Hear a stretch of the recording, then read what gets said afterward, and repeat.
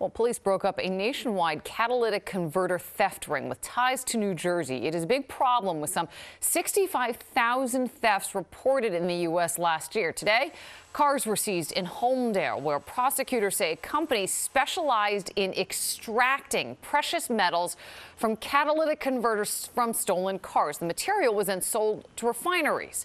Eyewitness News reporter Darla Miles.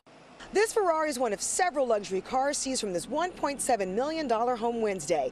It's where federal agents say DG Auto LLC is based, now accused of making millions on stolen catalytic converters for the last three years in a scheme with an LLC based in Sacramento.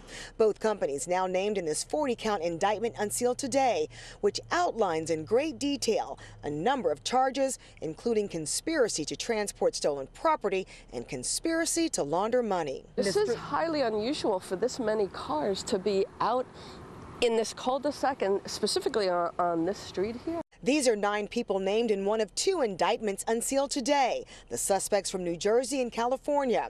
Investigators say the real money came from removing the precious metals that come from the catalytic converters, which federal agents say can hold a higher value than gold.